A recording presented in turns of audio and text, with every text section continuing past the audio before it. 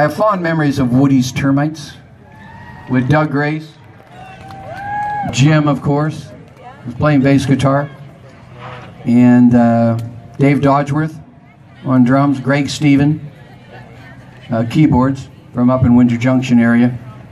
We had a nice time. I bought a couple of cars with the money that uh, I made from that band. Um, the cars, of course, you could buy a car for $300 back there back then. Not a very good car, but you could buy one. I know I bought a couple for about 500 bucks. Anyway, uh, it was a lot of fun, and I had the opportunity to write songs uh, at that time. Although we were a cover band, that's what we did. We did cover songs. Whatever on the hit parade, Doug Grace, our singer, would come in with, "I here, this is what's on the charts. Let's learn this," and, and he was great at that. He knew what the people wanted to hear. But I got to write too, in my own sneaky little way.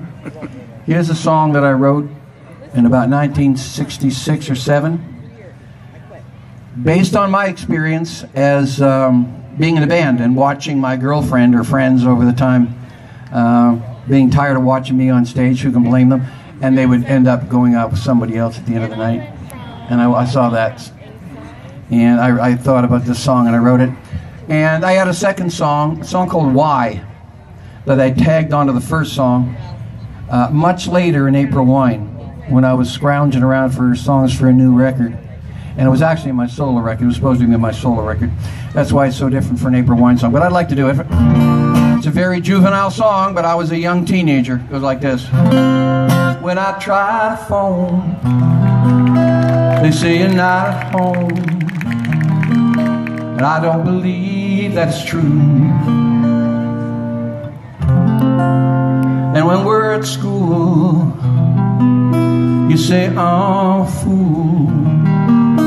Why must you treat me so unfair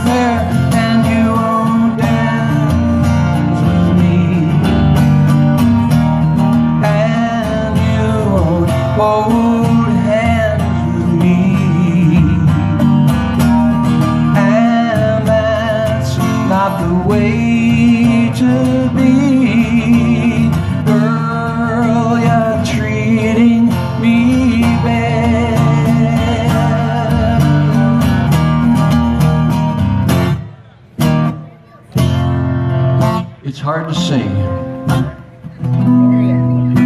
what I have to say, and I hope you understand.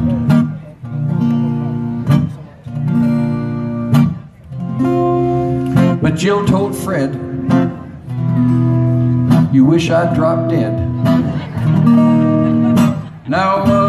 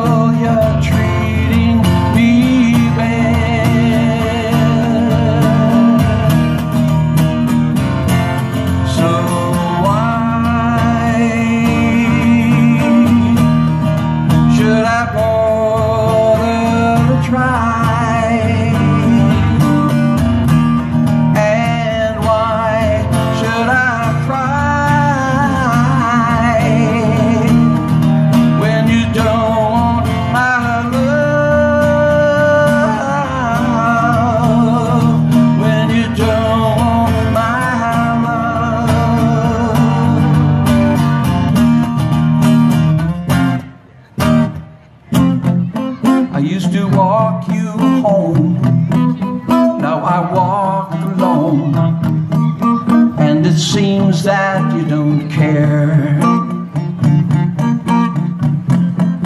And when we're at school You say I'm a fool. Why must you treat me so